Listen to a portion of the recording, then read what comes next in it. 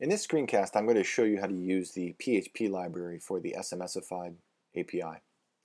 Um, SMSified is a platform for sending and receiving text messages. It has a dead simple REST API and a one cent per message pricing structure.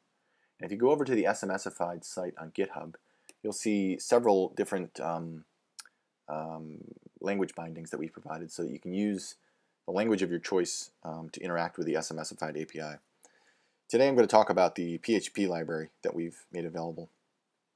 Uh, if you go to uh, this repo and you clone it, uh, you will have a very nice um, set of uh, classes for working with uh, the SMSified API. So today what I'm going to show you how to do is to build a um, SMS message management system using PHP and CouchDB. And what this will let you do is it will let you store all inbound text messages to your SMSified number in an instance of CouchDB. And you can start to do some really interesting things with this inbound uh, uh, message store. Uh, what I'll show you how to do today is to create an RSS feed so that you can actually um, look at all of your in incoming SMS messages uh, in your mail client or your RSS, uh, RSS reader. Um, we'll be using CouchDB and I'm going to make use of a class library called uh, SAG, which is a really nice PHP library for working with CouchDB. Uh, I recommend it highly. I've used it on several projects and I think it's uh, a very useful class library.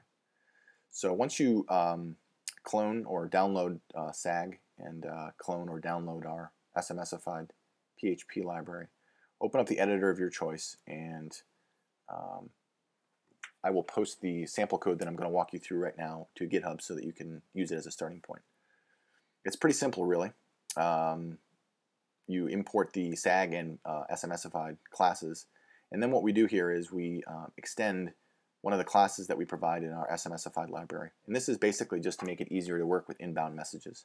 In this case, what I'm doing is um, uh, I'm just creating a new method uh, on this um, derived class that will just simplify the JSON structure uh, of uh, the message format that gets sent by SMSified to your app. So if you go to SMSified, and you log into your account, what you will see is your listing of telephone numbers. Um, if you click on this little pencil icon here, what you'll see is that you can enter a URL uh, in this subscription URL field. And what this tells SMS SMSify to do is when there's an inbound text message, it's going to send a JSON uh, payload to your URL that you specified here.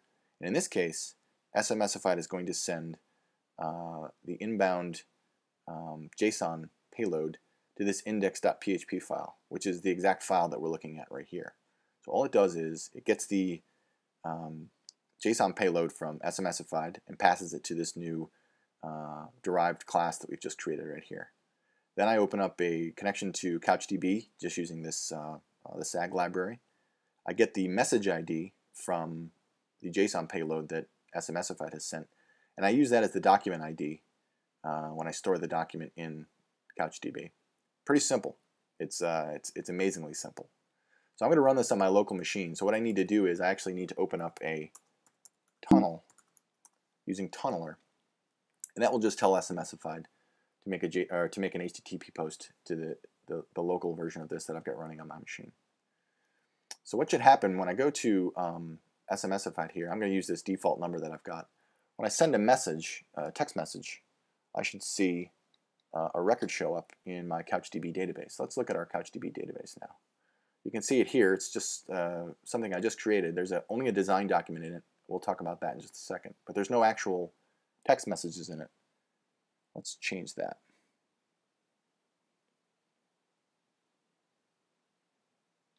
I'm going to send myself a message that says PHP and CouchDB are awesome.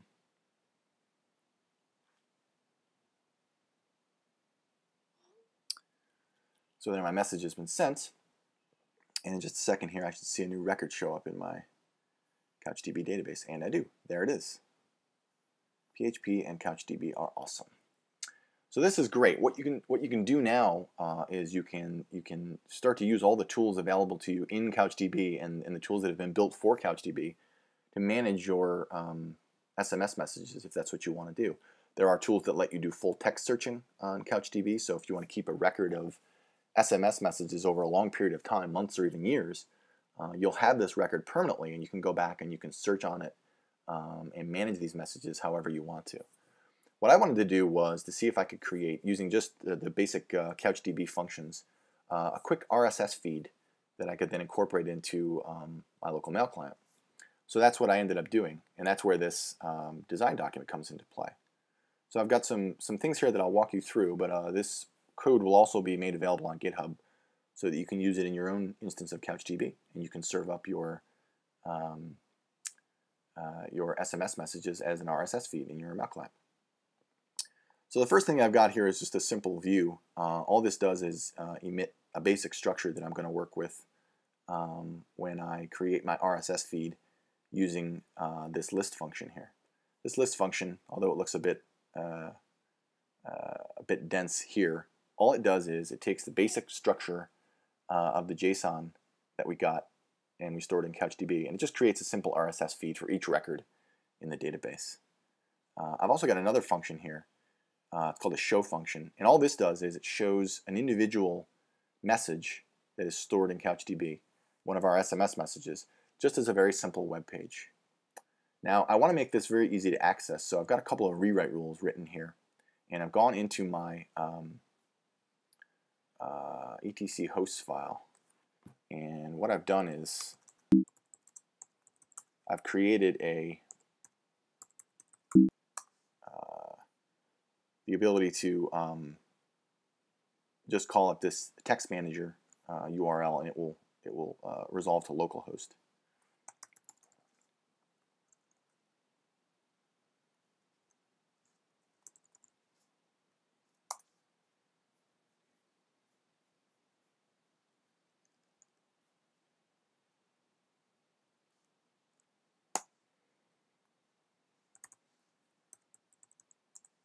There it is. There's my RSS feed right there.